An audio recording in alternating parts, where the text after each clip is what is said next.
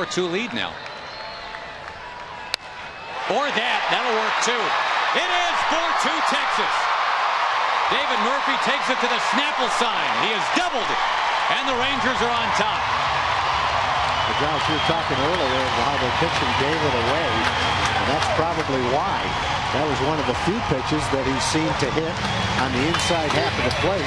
And as soon as he saw it, he drove it into the gap in right field for two runs. He's been waiting for four days to see that pitch. There it is on the inside part of the plate. Oh, he just turns on it.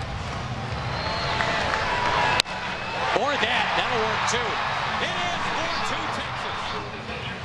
A pitching change coming.